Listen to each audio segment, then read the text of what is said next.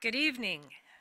I'm delighted uh, to welcome you here on this snowy night in Brunswick because we have a great treat for you. Jill Abramson. Who knows who she is? Needs no introduction. Um, she's a journalist, as you know, and an author, but she is also the first and the only woman to serve as executive editor in the 160 year history of the New York Times. And she held that post from 2011 until May.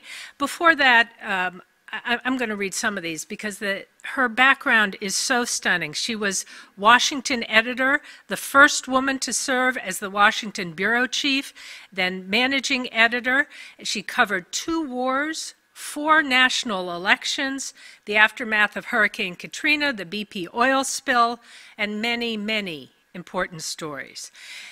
In addition, at one point she took a six month detour and she immersed herself in the Times' digital operations. And I think she's going to talk uh, about that some tonight. But before joining the Times, she was also, for nine years, a reporter at the Wall Street Journal. Now, I first met Jill about a year ago, right at this time.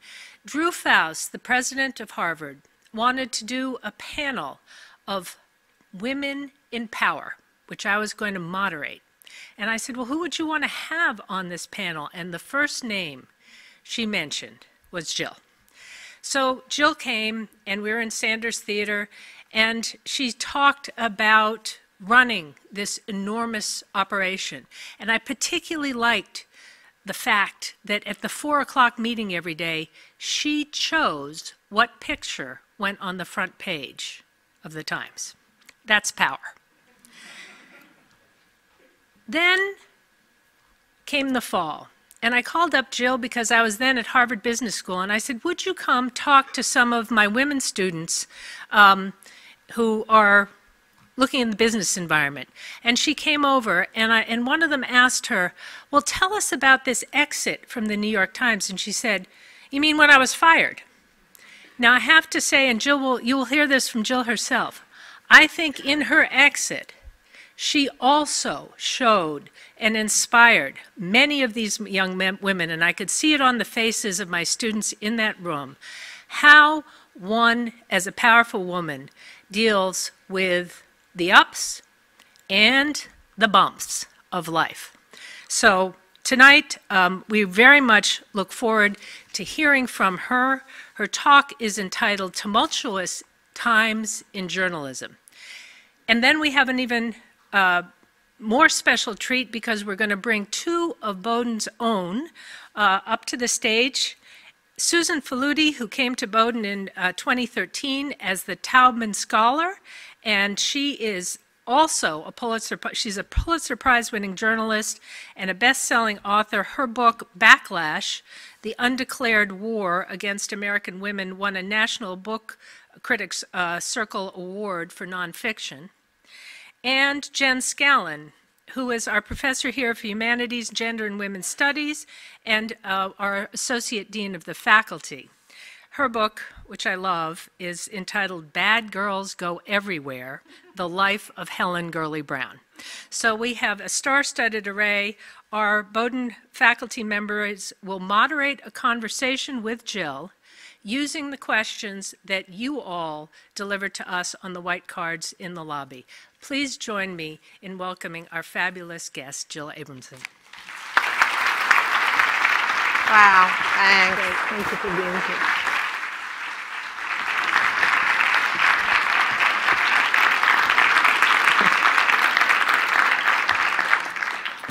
Thank you all for braving the cold to come out tonight. And I also just want to thank Karen so much for that wonderful introduction. Uh, we have not known each other long, but um, if one theme of the evening tonight is bad girls. I have a sense that we already have like a bad girls uh, tie going on already. So that's great. Uh, and you know, I was hoping tonight to a little bit give you an overview of the journalism firmament as I see it these days. Uh, it's an incredible honor to be here at Bowdoin. Uh, and I know, like all of you who are part of this community, probably get sick to death of hearing every visitor like me invoke Harriet Beecher Stowe. But stick with me, I'm going to do it. Sorry. Uh, because, you know, I think that I want to talk tonight about all of the tumult and all of the challenges right now that confront journalism because we're in the middle of this transformation from really a print dominated society to a digital dominated landscape, which is, you know, making topsy-turvy so many aspects of the news and journalism. But I want to actually begin with something that I think is a comforting continuum because when Harriet wrote her masterful Uncle Tom's, uh, it actually unfolded. It was published over the course of a full year. So I figure like each month, about each month, there was a new installment of Uncle Tom. And by about installment four, readers across what was then America were waiting with bated breath, except maybe in the South, for what was going to happen to little Eva. And uh, what is that like? That's an awful lot like Serial.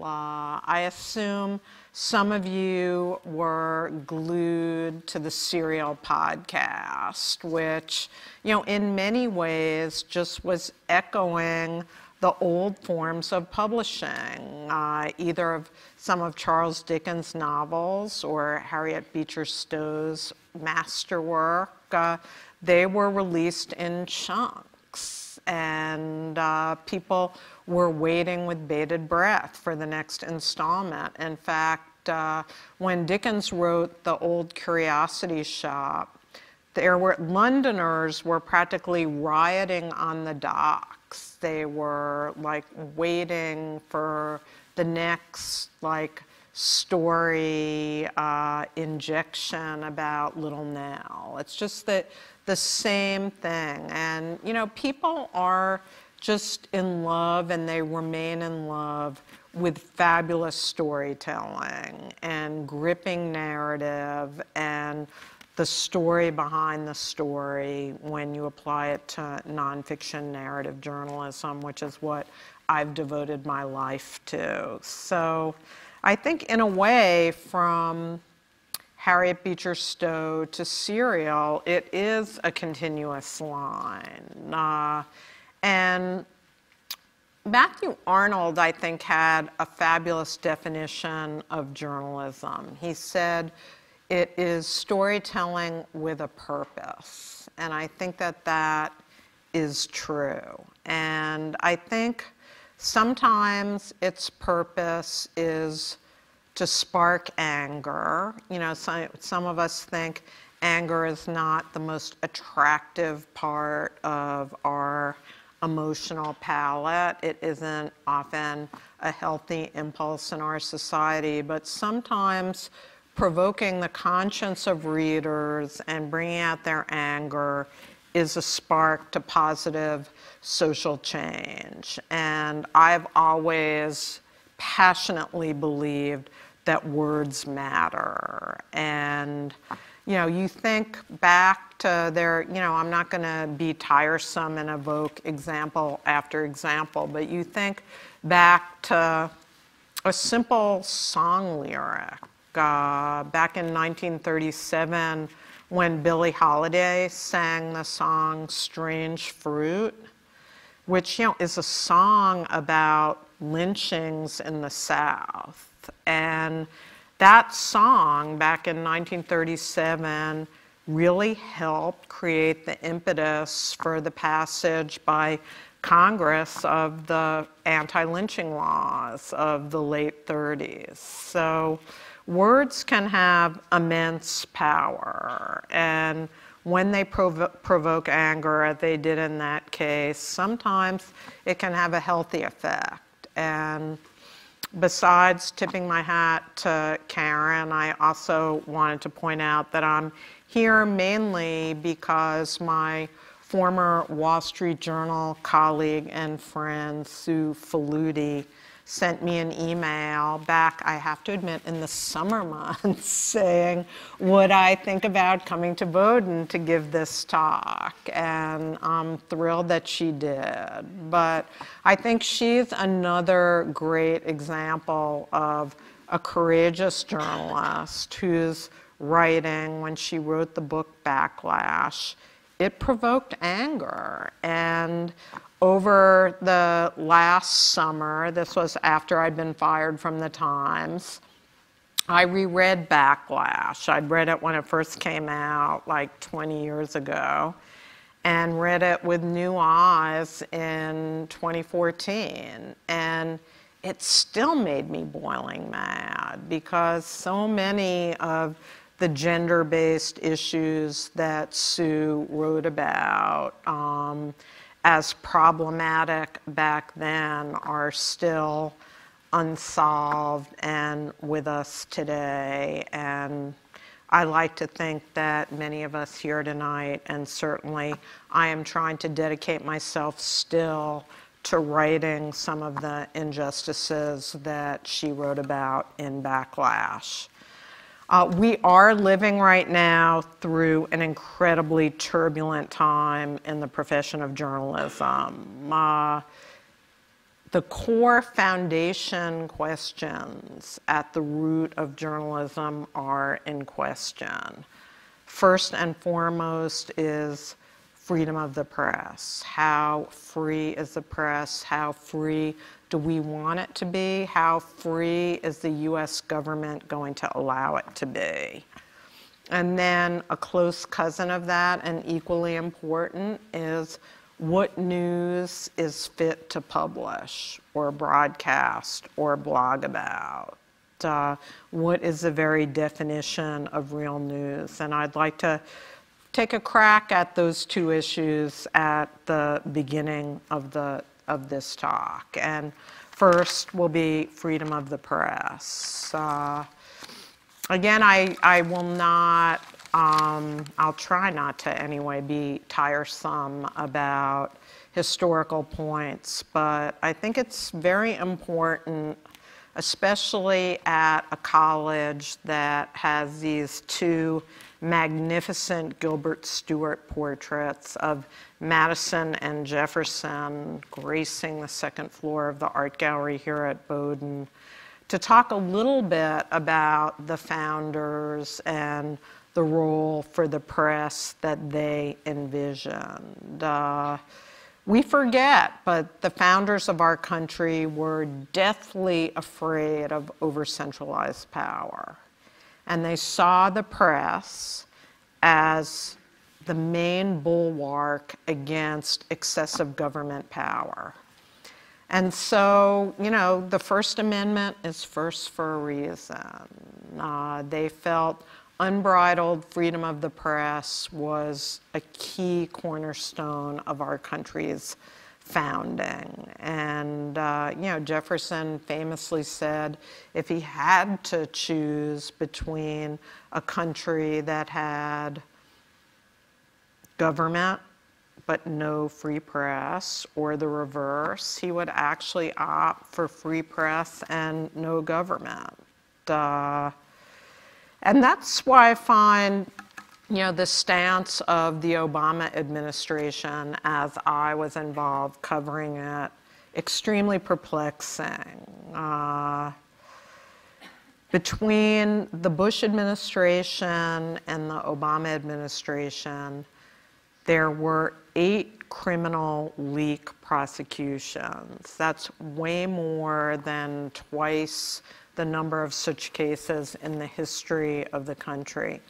These are criminal cases that are brought under a very obscure provision of federal law, a 1917 act that was passed uh, at the beginning of World War I that was meant to prosecute spies, and it's called the Espionage Act. And that law has been used in these eight cases to prosecute whistleblowers who leaked classified information to reporters. Now, many of these whistleblowers leaked the information because they felt the government, as it had in the period that Jefferson and Madison were so worried about government overreaching, because they saw programs like the rampant, massive espionage programs that Edward Snowden ultimately went to the press about. They saw them as possibly illegal and unconstitutional. Nevertheless, these people can be and were prosecuted in the cases where the government felt confident that they could say who the sources were who leaked this material to the press. You know, a bright spot, and some of you may wonder why is she yammering about these cases when we know the, that the Obama administration recently decided that they were not going to force Jim Risen, or reporter for the New York Times who worked for me, to testify in the most recent of these prosecutions. And I'm very glad that the government backed off because I know Jim well. I just had lunch with him in Washington not long ago, and he would have gone to jail rather than give testimony about who his source was. Uh, but he wasn't forced to make that choice. But Jeffrey Sterling, who was the defendant in that case, was recently found guilty and he will be sentenced. I don't know how many years in jail he's going to face, but he is going to go to jail. And the main point about these cases is that they put a freeze on the free flow of information between sources and reporters in Washington. Uh, and you may say, well, you know, why are these sources giving reporters classified information?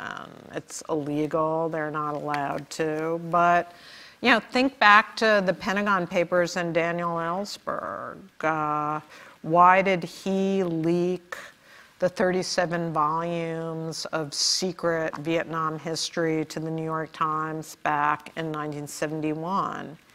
He did it because he saw in those documents that the government had told massive lies about how well the Vietnam War was progressing, and he felt it was vitally important for the public to know the truth. And in almost all of these eight leak cases, because I've studied them closely, that same belief is what motivated the source who leaked the material. I don't know if uh, in the movie theaters near Bowdoin, the movie Citizen Four has played. It's a documentary about Snowden, but it's excellent. It gives you a window into like Snowden's soul and why he did what he did. Uh, I, I recommend it.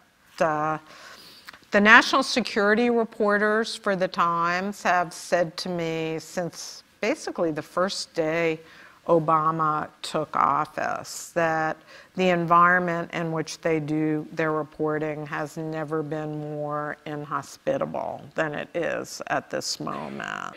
That sources at the Pentagon, at the CIA, at the NSA, at the Department of Homeland Security, who used to be willing to talk to them mainly because they wanted the public to have accurate information about the work that goes on in those places don't want to be called by any reporter from the New York Times because they worry that their telephone records can easily be subpoenaed in a leak investigation and they can end up, if not going to jail, having to rack up sizable legal fees. So they just they don't want to deal with the press anymore. And the consequence of that is that you, the public, are not going to get the information about intelligence programs, many of which are part of the war on terror that's being waged in your name. Uh, but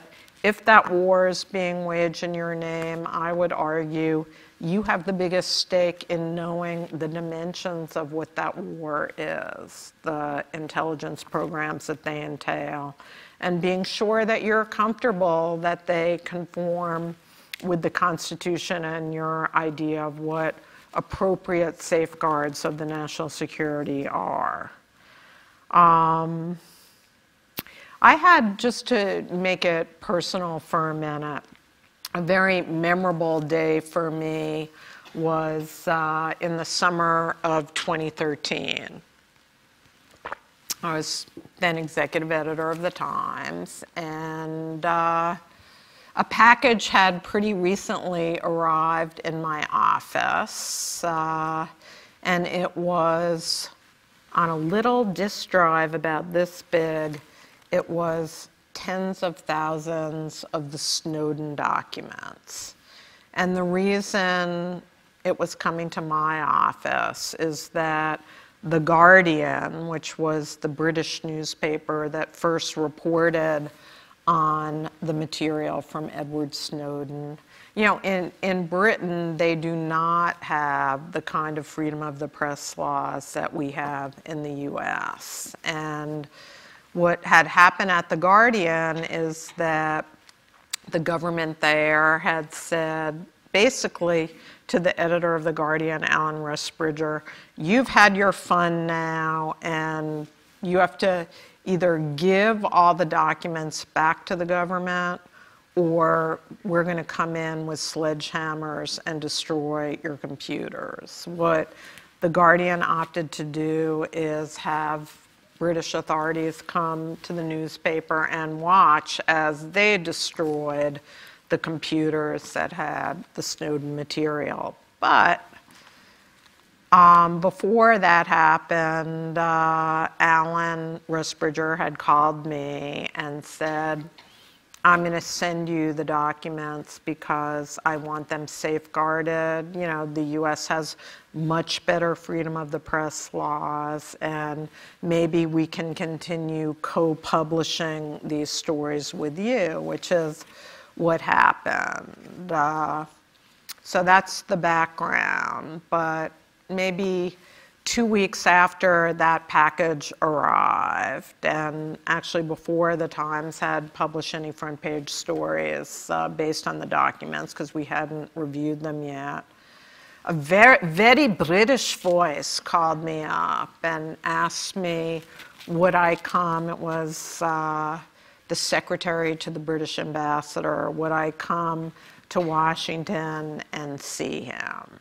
And, you know, I knew what it was likely about. And I said, you know, of course I would come and see him. So made a, an appointment in early July to go visit him at the British embassy. And what had happened at about the same time is the Times was about to publish a fairly sensitive story about an intercept of a conversation between an Al Qaeda official and someone in Yemen. And the contents of that intercepted conversation was so alarming that the US had actually emptied many of its embassies in the Middle East. They thought a terror attack was impending. And one of the national security reporters for the Times in Washington had found this out, and we were publishing a story the next day.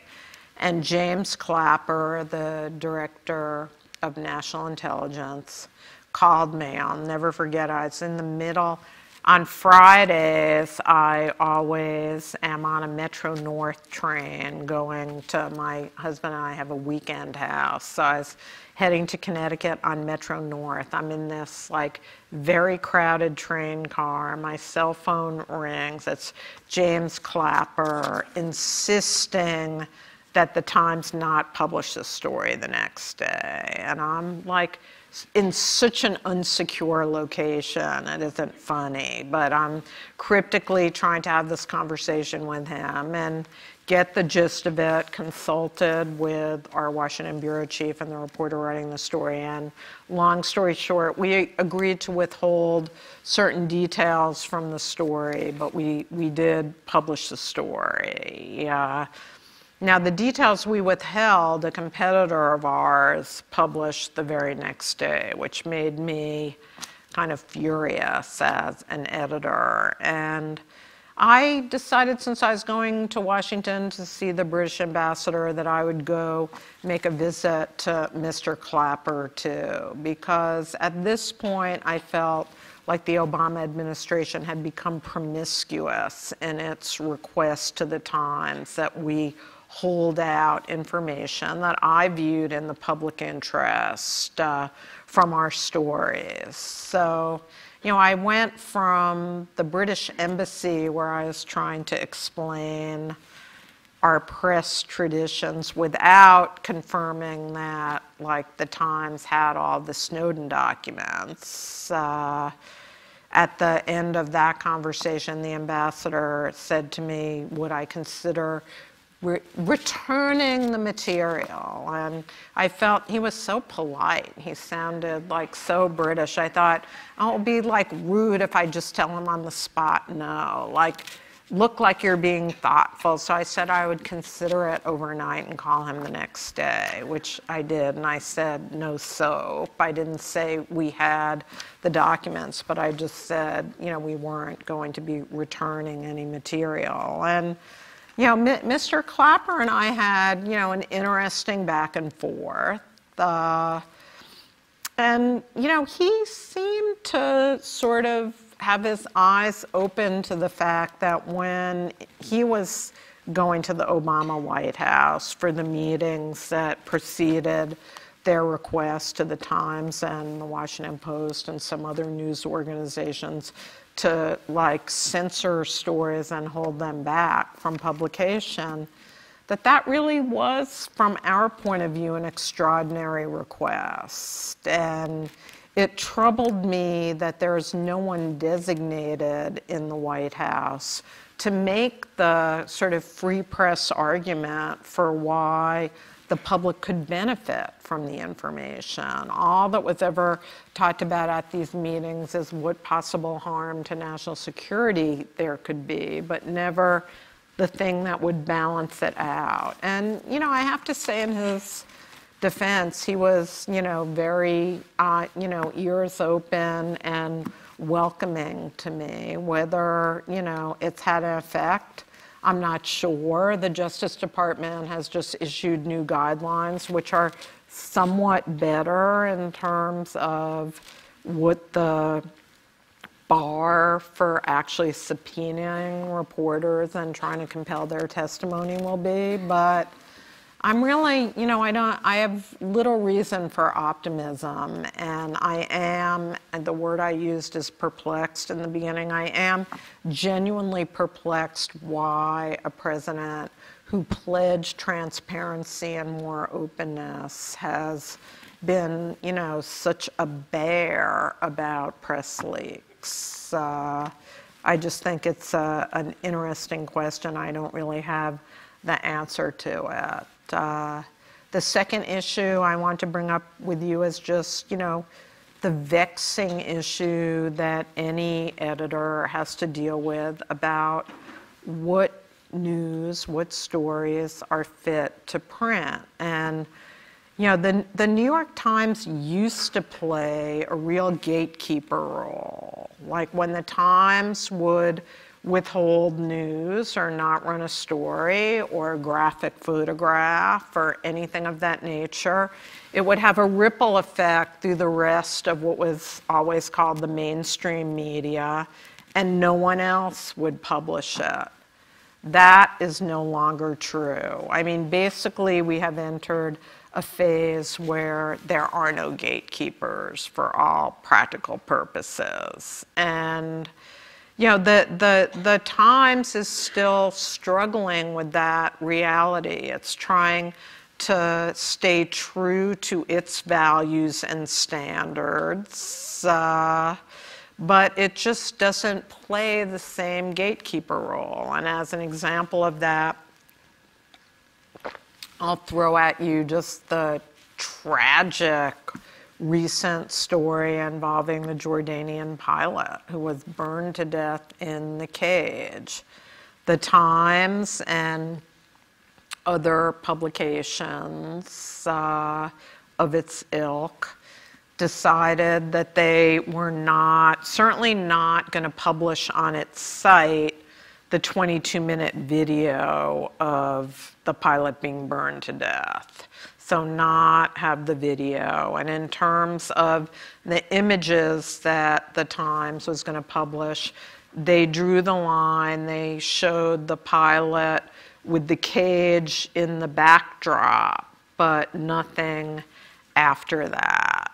But, you know, and that is true to the Times' standards and image of itself, which I admire and try to uphold every day that I work there, that it is, you know, a civilized publication and that it does not publish the most prurient or offensive kinds of material. But the truth is, is that the whole 22 minute video was like all over social media in no time. Uh, if you wanted to see the glorious aspects of what happened, it was easy to see it. And what's what interested me is not so much the Times' approach to that story, but the approach of BuzzFeed, which is a relatively new digital native publication, uh, which took a very different approach. And some of you may know BuzzFeed as, I mean, what they're most famous for is kind of vertical uh, photo streams of adorable puppies and kittens and they have achieved success through stories and images that quote unquote go viral. Virality is their business model. So lots of eyeballs, lots of shareable information.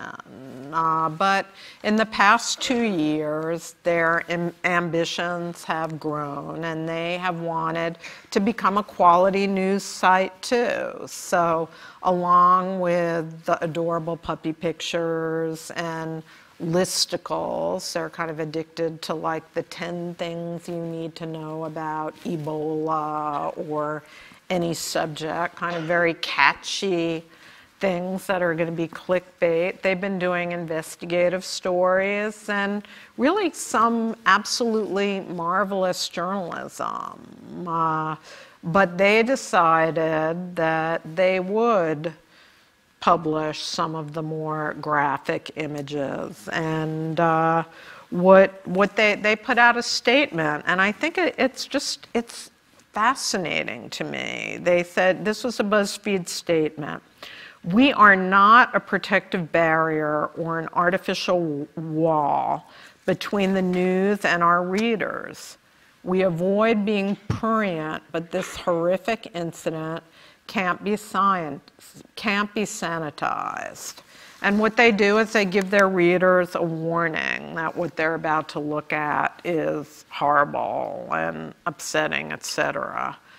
Um, but they publish it because I think that that is an interesting position. They are, you know, position that as a news organization, they shouldn't be, quote unquote, a barrier between the news and the public. Uh, I don't know which model is the right model, but it's an illustration of why I think, you know, the journalistic firmament is so interesting and full of tumult right now. I'll, uh, I'll go for about five more minutes just with the, the broad view of uh, what's going on. Uh, you know, we, you know, the, the, the Times is in a, a unique situation because its business model is quality journalism. And I think the Times is going to succeed. I think the Times, you know, is an irreplaceable institution in our society. There is nothing like it. It, you know, employs about 1,100 journalists who are so dedicated and full of passion to bring you the news. And uh, I think all things considered, you know, it was a traditional newspaper that when I first came to work there in 1997, you know, there was one deadline that we thought about. It came at nine o'clock at night, right before the presses rolled. Now we live in a 24 7 news world where readers expect news to be, you know, covered exactly when it happens, where it happens, and get to them almost instantly. And uh, the distribution system is not, you know, a bunch of newspapers coming off the presses, but it's what's published on the Times website, on its apps, and then what is picked up and echoed in social media. Because if you were going to ask me who is the most influential person in journalism right now, I'd have a hard time picking whether it's, you know, the executive editor of the New York Times or the guy at Facebook who does the algorithm, the engineer at Facebook who does the algorithm for Facebook's news feed. The Facebook news feed reaches many more people than the Times executive editor does, and the Times in many ways is dependent on that engineer to have its quality news picked up and amplified and brought to you. So, you know, it's a completely different world than the world I confronted when I joined the Times. Uh, you know, it's become fashionable for journalists like me who cut her teeth in the best print newsrooms like the Times or the Wall Street Journal to bemoan the bad influence that social platforms have had on the news. But keep in mind, the top story on Twitter back in 2013 wasn't Miley Cyrus. She was number three. Uh, it was the Boston Marathon bombing, a serious news story. And the most viral story in 2013 was a fascinating New York Times interactive feature that figured out exactly where your regional dialect, your pattern of speech came from. It was called How Y'all Youse and You Guys Talk. Um, let's admit it, entertainment values suffused the news long before Mark Zuckerberg came along. People magazine always swamped time on the newsstand. And in many ways, Facebook and Twitter have strengthened the news and made the fierce urgency of now more compelling than ever. My first lesson of how Facebook could literally power a news story came in 2011 during Hurricane Irene. I was worried that our computers at the Times were going to be knocked out, and with no television, how is the Times going to cover the story in real time? Some of the Times' digital ed editors developed on the fly an interactive hurricane track tracker and used the Times' Facebook page and other social platforms to publish crucial news about the storm as it raged through New York. Readers' iPhone pictures augmented the reporting of Times journalists and photographers. In the digital present, everyone can be a publisher. That's a democratizing force in journalism. For sure, this ability carries risks too.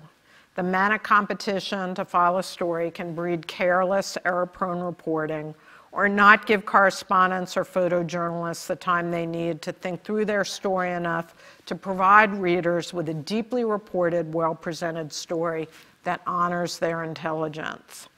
I worked very closely with two successive New York Times correspondents who covered the Supreme Court, and both worried, and rightfully so, that the, the pressure to report end of term decisions as they were handed down didn't leave them with enough time to think or to really analyze what the decisions meant.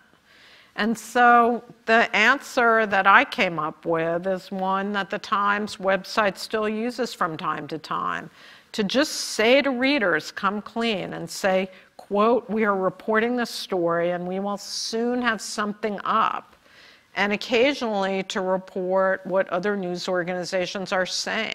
Like, according to CNN, this decision says blah, blah, blah. You know, that shows that the Times isn't sitting there clueless that other people are reporting the story, but it kind of reflects the truth, which is the Times feels the subject needs further fact finding and analysis.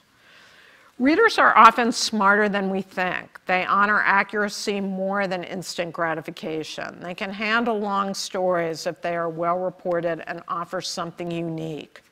The Times recently ran a story about a campus assault that took up three pages inside the Sunday main news section.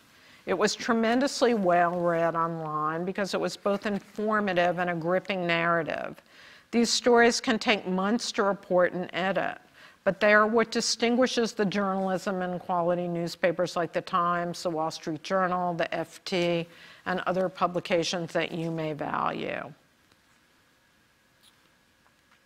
I'd like to dwell just at this end on two areas of journalism that I think have been profoundly affected by the rise of social platforms international and political coverage. Candidly, the effects have not always been helpful healthy and are sometimes disturbing. For most of our history, think about it, war has been witnessed only in the rearview mirror. It took weeks for Mathew Brady's photographs or eyewitness accounts of the battles of the Civil War to reach readers. Vietnam was the first war to reach Americans in their living rooms on TV, and some live coverage began during the first Gulf War. That all seems so quaint in a world where both journalists and citizens are uploading instant images of war's ravages in Gaza or other places, um, or the bloody aftermath of things like the plane going down in the Ukraine, or the Jordanian pilot's sad fate. Journalists begin writing about what they are seeing on Twitter at the instant they witness events. Scenes of disaster and chaos are everywhere. This can inform, but it can also just shock and overwhelm. Some correspondents, like a woman who was a correspondent for CNN and quickly tweeted about Israeli soldiers who harassed her um, and called her scum, have run into trouble with Twitter, with using Twitter as their bu- bugle. She said some ill advised things and lost her job. Other journalists have done incredible, inspiring things. Tyler Hicks, a Pulitzer Prize winning photographer for The Times, witnessed those four small Palestinian boys who were playing one minute and killed the next. He tweeted out that news. He was the only journalist there posted hard to look at photos, and then wrote a memorable piece about what it was like to be there for the next day's newspaper. Matthew Arnold, the poet and critic, called journalism literature in a hurry, and Tyler was creating a valuable first draft of history in a hurry. The dark side of social platforms have, has also been on display. They give propaganda, which has always been part of modern warfare, a megaphone. That's what makes the editorial decisions about running ISIS's propaganda snuff film videos so difficult. Facebook and Twitter can't begin to monitor the hate-filled posts that have swamped both sides of something like the Gaza conflicts. Extremists have flocked to hashtag Gaza under attack, and promoters of Israel have flocked to hashtag Israel under fire. The Israeli Defense Ministry now has a 40 person staff in its public affairs department devoted solely to posting on social platforms and YouTube. Social media has, as Jodi Rudoren, the Middle East correspondent for the New York Times, recently wrote, put propaganda on steroids. In the US, we're approaching the 2016 election.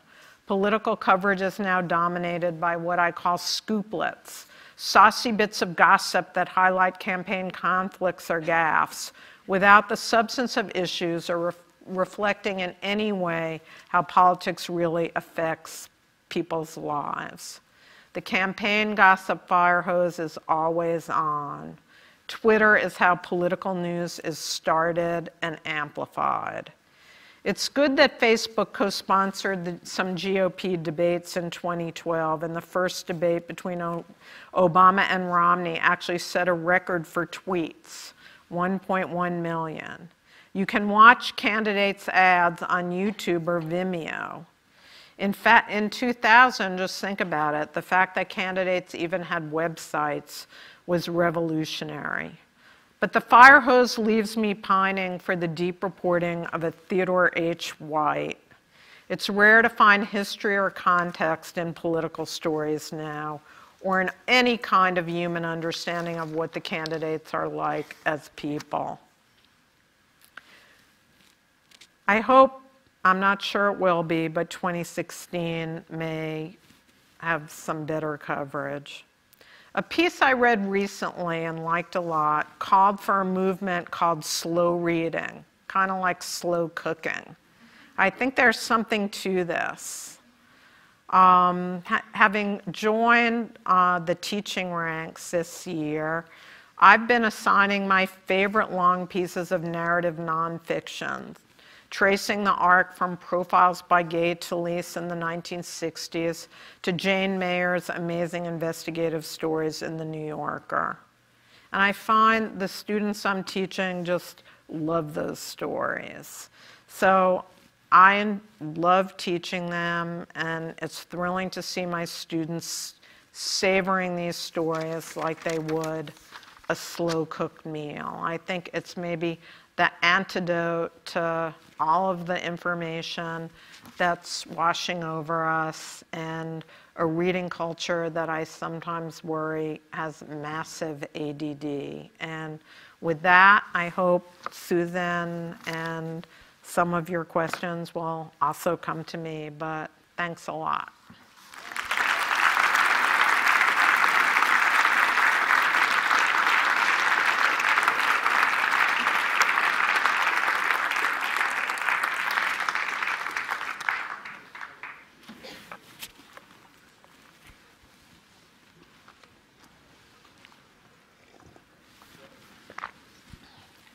you want me?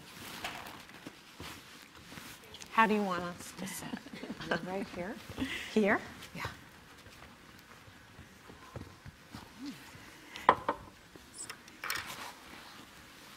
Thank you, everybody. So I have questions from the audience, and Susan, who is a Pulitzer Prize winning journalist, has her own questions. So we thought we might alternate, Jill? Sure ask you some questions. So Oh, Susan? I can read some of those And too. you can too. Yeah. Okay. So, thank you, that was wonderful. And I think um, we're, we're grateful to, to hear your um, homage to slow food storytelling. and I think, I, I know from when, when you talked this afternoon that uh, a lot of students came up to me afterward to say how much they appreciate it. I think there's you know, this assumption that the younger generation. Well, there are hope, just right? There's like we're um, the, I think the dismay for fire hose journalism crosses the generations. So you all can weigh in on that. I don't, um, but I, I, I feel that's true. I I want um, I, you know I want to go back to the day that you it was announced that you were uh, the uh, the first that you were uh, the editor in chief and executive editor of the Times, and you gave you talked to the um, newsroom, and you thanked um, your sister journalists and female forebears at the Times, and I was really struck by that because a lot of women, when they get put in a position of authority, are um, you know, don't want to be, you know, don't like to be identified as the woman, um, uh, fill in the blank, or, or identified with women. And so I wonder if you could talk a little bit about what, you know, made you take a different path. I think, Susan, what made me take a different path is I felt that day, and I feel today that you know the most exciting and meaningful thing that happened in my career is that I was the first woman to be executive editor of the New York Times. I was so proud of that, but I was extremely conscious that the only reason that I was the first woman executive editor was truly because of all of the fighting and hard work of so many women on whose shoulders I stood. And, you know, the one like Times colleague who you always are kicking yourself over the one person that you overlooked or didn't mention, mm-hmm. but I didn't, I like, I felt like kicking myself afterwards. I didn't mention Betsy Wade. And Betsy Wade, it's not like she's a world famous journalist, but she was the first woman copy editor at the New York Times. And the copy editors at the New York Times are the ones who make the Times the Times. They sweat every comma. They're geniuses. And Betsy Wade in the 1970s put her name on a lawsuit against the New York Times. It was a sex discrimination suit. It was based on all kinds of evidence about women not being, you know, being paid like 60 cents on the dollar compared to a man, you know, the horrible lack of promotions and opportunities for women. That case took years to crawl its way through the courts. Ultimately, it settled, you know, with the Times, and there were uh, Time Magazine was sued. All of the major networks and publications were sued by women back in the 70s, and you know, for Betsy, it's not like the results of that lawsuit paid off. I think her reward for filing the lawsuit was she got assigned the graveyard shift while she still had little kids at home and she was working late at night. And but without that those lawsuits, which really did put the pressure on you know the leaders of newsrooms back then to get serious about finding women to hire, promoting them, like nurturing their careers. There would have been no Jill Abramson. I benefited from that push, going back to when you and I worked at the Wall Street Journal and I took my first job being, you know, a senior editor there. Uh, they were looking at that point under some heat for women to promote. So I was completely conscious that day that, like, I, uh, you know, owed far more than a debt of gratitude and a few lines in my speech to not only people like Betsy, who I forgot, but people like Janet Robinson, who was then the CEO of the Times, and I think fought like crazy to see me get that job. When I uh, was one of those little uh, copy kids right out of college at the New York Times for, for a year, and I had this 7 p.m. to 3 in the morning shift. Yeah. And Betsy Wade mm-hmm. was there. I mean, it was yeah. literally the Still graveyard being shift. punished. Yeah. She, of course, didn't view it as punishment. She was the kind of professional who's going to do a great job no matter what hours they gave her. It's pretty great. So a number of people in the audience are really interested in the gender issues related to your work, as you were just talking about. So I'll read you one of these um, numerous questions. What would you say about this catch-22? Women are faulted for not negotiating for salary and benefits, and of course we know this was one of the issues related to your leaving the Times. Um, but they have also been considered problematic when they do. That, that is a great question. I think it is a catch-22, but I think that, that the catch-22 results from the fact that rather than kind of in a, at the best possible point, which is before you take a new job, actually asking, what did my predecessor earn in a mm-hmm.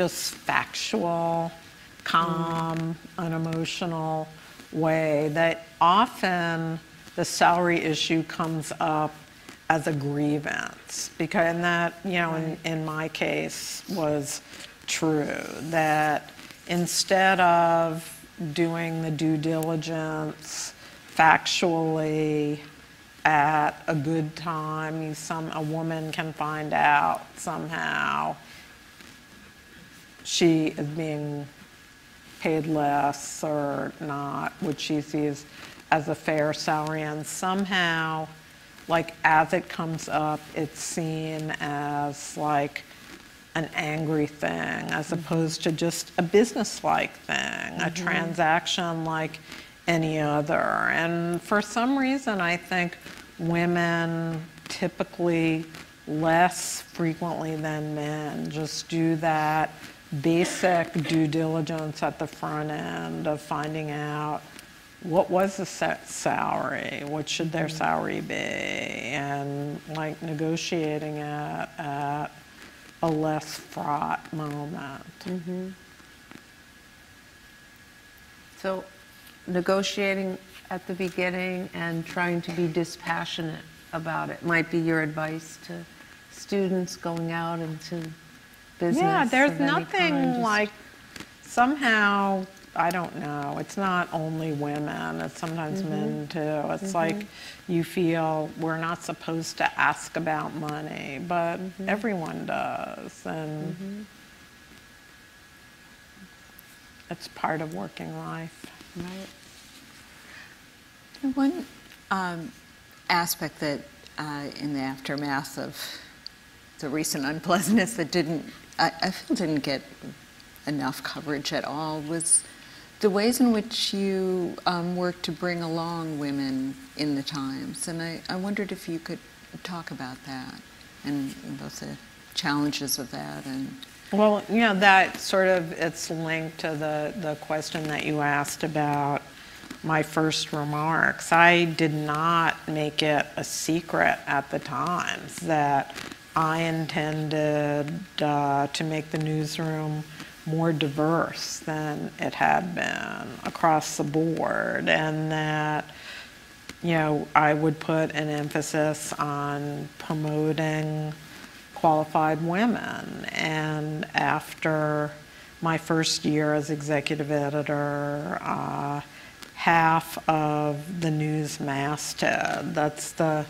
list of the top editors that gets published in the newspaper every day. Uh, we got to half the sky uh, for the first time. And I, you know, saw that as a tremendous achievement. And still, if you were going to ask me probably for the top five things I'm proudest of from my tenure, that would definitely be one of the top five. Uh, but you know, it, it, it- more than once, I think, while I was still at the Times, and certainly after I was fired, the title of your book, Backlash, would float into my brain because I I'm don't think everybody in that newsroom shared my view Mm. that like having a strategy to do that was the right or proper thing, which surprised me, Mm. frankly.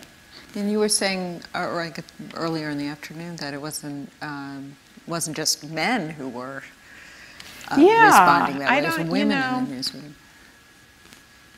I, I'm not sure, like, because a little bit, the preamble to your question about, you know, the, my first remarks to the newsroom were, I don't know. There are some, you know, women, as not only in journalism, but in many spheres of biz, business life, who don't want to call attention to gender. It makes them uncomfortable to have someone in a leadership capacity do it. Uh, I think there's still, you know, big road to travel, and that it's very important to be mindful of that and give voice to that. But I realize not all women feel that way.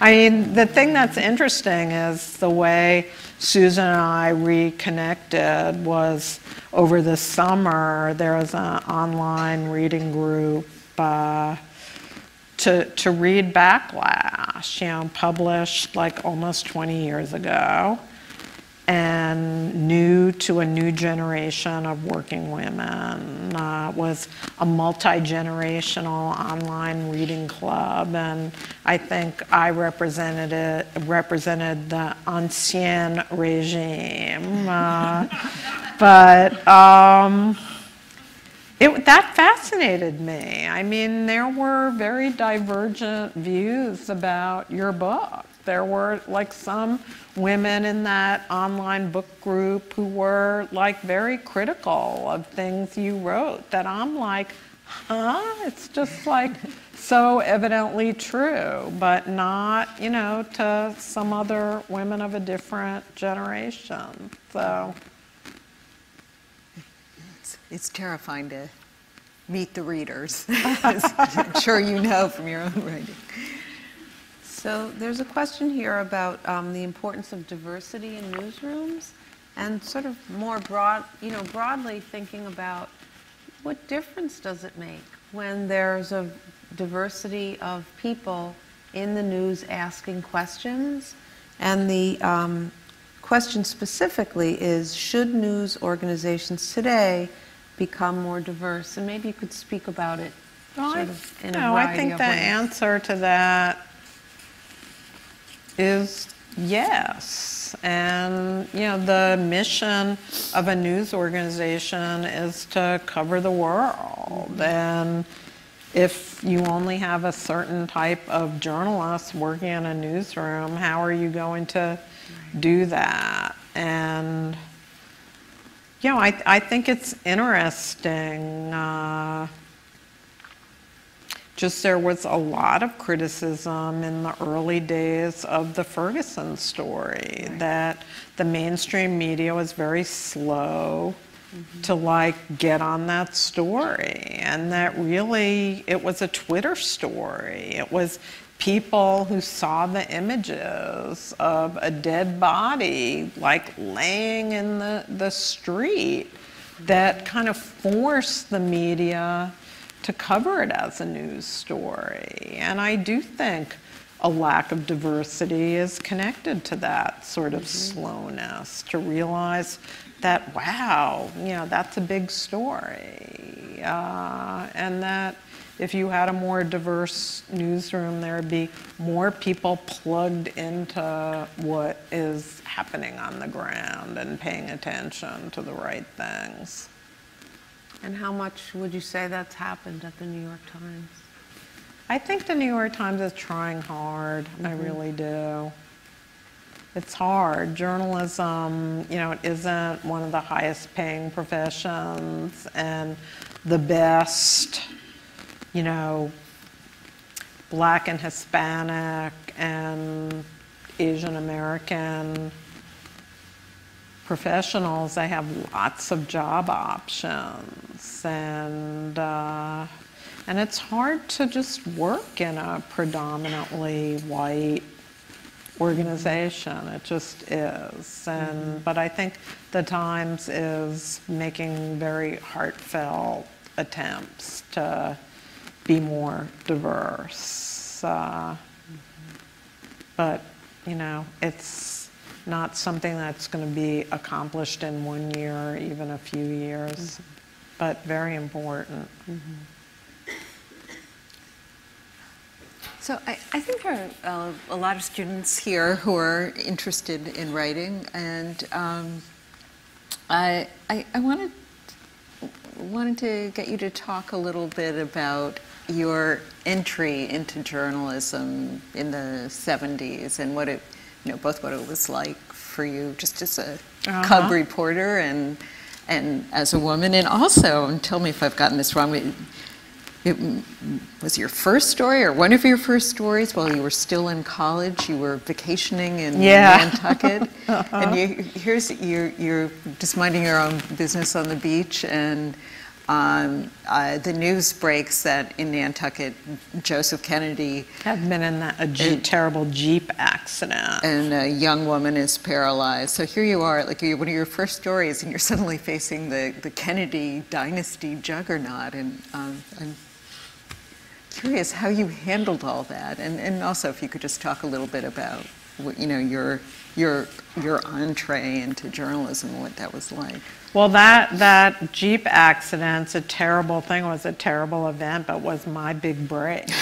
Uh, and, you know, the idea. And this is right after Chappaquiddick, right? Or This was, yes, this was in the period where the idea that there was a Kennedy curse was alive in the media because it was after Chappaquiddick and many other terrible things that befell the family. And this was like the next generation having terrible things happen. Uh, and I wish I could say, you know, I did some amazing investigative reporting on that story. I didn't. Uh, my, I, I was working, I had done no journalistic experience at all. I was working that summer at a Hickory Farms cheese store by day, and by night at Preston's Airport Lounge, which was like one of the great dive bars of all time. Uh, but I was spending the summer, my parents rented a place uh, with them, and my father had become friendly with one of the chief doctors on the island. And uh, the reason Time magazine called me in the first place to report on this is that Nantucket was all fogged over and the ferry wasn't even running and planes weren't landing. And a family acquaintance of mine worked in the Boston Bureau of Time magazine and remembered that I was there and called me and said, if you can get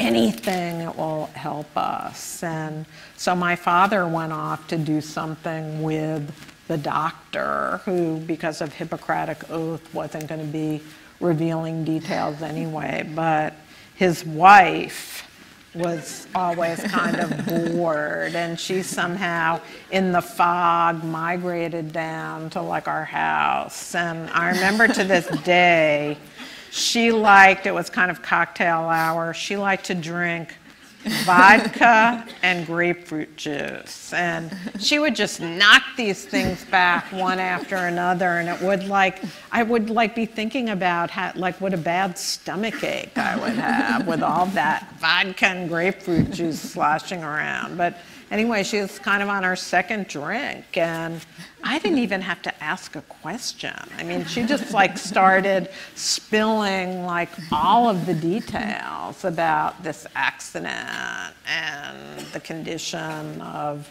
the woman who was hurt and whether alcohol was involved. And, you know, I just sat and kind of listened. And when she left, I called the person I knew at Time Magazine. I, I knew enough to say, I cannot tell you the identity of my source. but, yeah, I was able to give this information. And, like, they were happy to, like, have it. When I got back to Harvard that fall, they hired me to be what was called a stringer, which is a mm. part-time reporter for Time. And that really was my start. But, you know, in terms of being a young woman, I, you know, I graduated from Harvard in 76, and that was a presidential election year.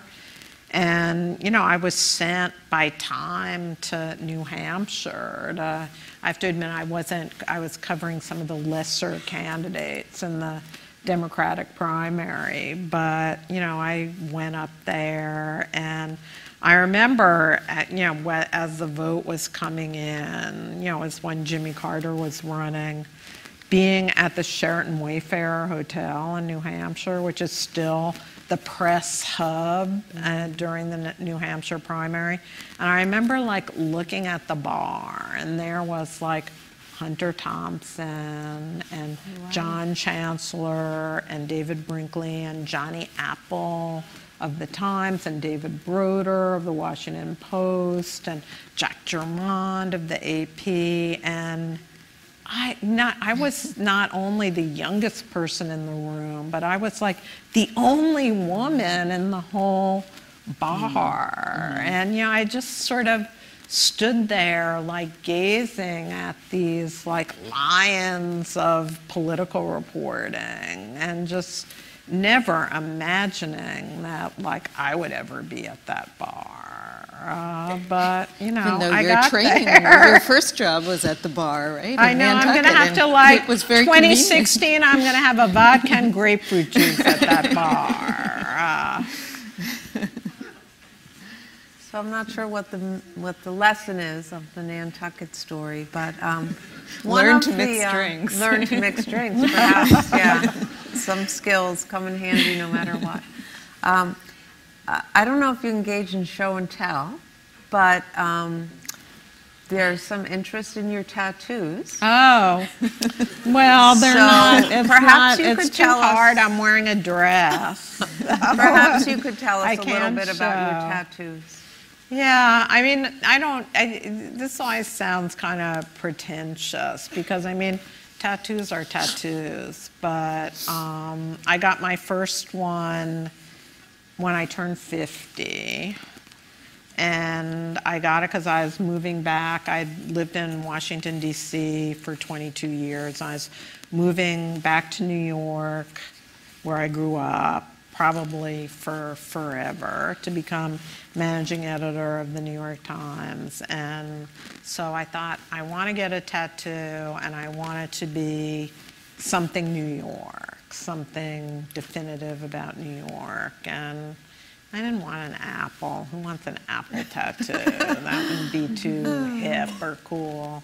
So um, I completely overthought this, but finally I settled. I have a New York City subway token, was that tattoo, and that was my first. And anyone who has ta- a tattoo knows you immediately become obsessed with more tattoos. uh, um, but I exercise a lot of self-discipline. I decided I'm only going to allow myself to be tattooed every decade. So the the token was 50, but when I turned 60 last year, I got three more. and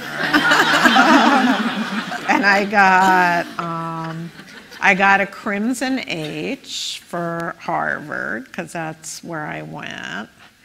I got a Times Roman T for the Times, and then because I just because I think it's beautiful, I got kind of a round to match the token. Uh, I got the the the state seal of South Carolina, where my husband and I lived, like very early in our relationship, and had such an interesting time. And what's pretentious is I kind of view the tattoos a little bit like it, they're like my hieroglyphics. They're like each of them is like a little piece of my life story.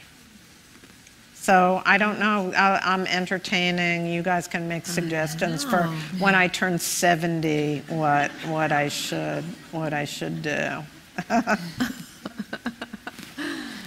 think, I think the vote here would be the polar bear, probably, or maybe not. Maybe we're all tired of the polar bear. I don't know. I was eyeing. They have these really cute sweatpants in the Bowdoin bookstore that have the paw prints on Oh, yeah. them. That's Yeah, kinda- yeah, pretty paw good. prints could be a good tattoo. Yeah.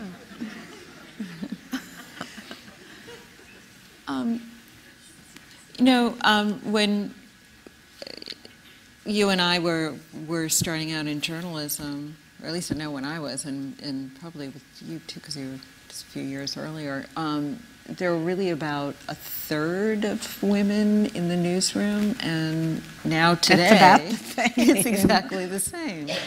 And at the same time, you know, women at the top made some improvements, uh, but there was uh, just a report out you probably you know about um, from the Ne- Nieman, Nieman yeah. that um, found that the top in the you know top um, 25 newspapers It's in worse. the country, it's worth. It's gone from um, seven in 2004 down to three women in Yeah, 2014. and I mean, it's just self-evident too. We think. I mean, not that. I mean, the network new, nightly news broadcasts aren't. You know, when I was saying in my earlier remarks that there are no gatekeepers. I mean, the nightly news shows aren't what they were when I was like a little girl, and families would gather in the living room and watch the news together. But still, I mean, it was just you know a year ago that we had Diane Sawyer was an anchor of ABC. You know, Katie Couric, for whatever people think of her, was you know the mm-hmm. CBS anchor. Uh, Christiane Amanpour had a much larger profile at CNN than she does now, and went to one of the networks. I mean, it is Guy City now, mm-hmm. while all of the network news broadcasts at night are men. Mm-hmm. So what- and so that's What's going on? And I mean, in the newsroom too. I mean, in the print world right as now. well. It's like Any theories? or what as we can to do? like. Well, it, it- it's difficult because I thought the answer to this was being proactive mm-hmm. and you know trying to find the best women around and there's no shortage of great women. That isn't the problem. The problem it you know it used to be the men in charge would say oh the pipeline you know the pipeline isn't full of enough like qualified candidates. That just isn't true anymore. Uh, but I mean, I'm not sure that given how things c- came out, and I, I don't want to at all be suggesting this was the reason I was fired by the Times, but you know, I, I'm not sure like such a bold approach of promoting lots of women at once is necessarily a su- successful strategy either. Mm-hmm. So I'm not I'm not sure what will like change it. Uh, what, what do you think? You're you're the expert here. I think it's, you know, it's You don't two know? steps forward, one step back. And now it seems like it's one step forward, two steps back. And, and maybe a feeling that, oh, well, we've done that, so it's, we can move on. We don't need to worry about it anymore. Um, I don't know. I'm, I'm really flummoxed by it because there's certainly no shortage of women, like you say. Right. It's not a pipeline problem. And at journalism schools have been more than like two thirds female for the last you know 20 years. So it's um, it's extremely troubling. It is, but I don't, you know, I don't think it's a, you know, it's a- not a front burner issue for, you know, lots of people. I don't, I'm not sure, like, the, I mean, the audience at the end of the day, readers and the audience are going to have to care about it, and I'm not sure they do. Do you think they do? Well, we have an audience here. We do, we have an audience. Do we care? Um, You know, clearly, we, we, uh, yeah, we have work to do, um, and we have inspiration to do it. So Jill Abramson, thank you Oh, so thanks so much for being with us today.